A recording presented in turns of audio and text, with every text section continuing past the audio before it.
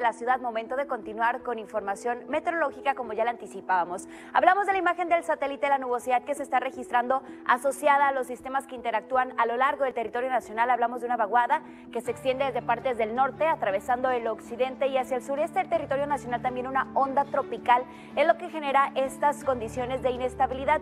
Ya son mínimas puesto que está tomando terreno un poderoso sistema anticiclónico y esto lo vemos reflejado en las temperaturas altas que se estarán registrando en los próximos días principalmente en el área norte del territorio nacional. Hablamos de que las temperaturas máximas van desde los 42 grados centígrados y en algunos otros puntos, como tal es el caso de Mexicali, alcanzamos temperaturas hasta de 50 grados centígrados.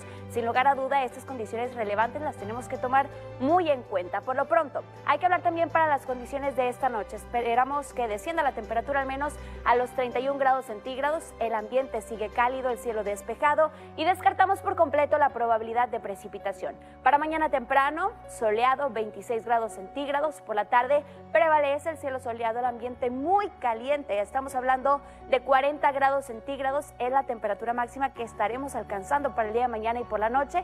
Desciende a 32. Persiste este ambiente caluroso y cielo despejado, descartando probabilidad de precipitación. Hasta ante estas condiciones de la ola de calor, ante estas condiciones calurosas, las recomendaciones son que usted se mantenga hidratado, que se proteja de los rayos solares y sobre todo que atienda a adultos mayores, a los niños menores y también a las mascotas. Hablamos también de este efecto que produce el calor dentro del auto. Cuando la energía solar entra hacia el coche se produce, se produce un efecto invernadero, con lo cual puede alcanzar temperaturas muy relevantes, incluso alcanzar 20 grados centígrados más en el interior del automóvil, por lo cual es importante también no dejar a adultos mayores, a los niños menores, a nuestras mascotas o cualquier tipo de ser vivo dentro de nuestro coche, incluso hasta los objetos es preferible tenerlos dentro de casa. Hablamos también de las condiciones para los próximos cinco días. Le adelanto también son temperaturas calurosas, las temperaturas mínimas oscilando cerca de los 25 a los 26 grados centígrados y temperaturas máximas que oscilan cerca de los 40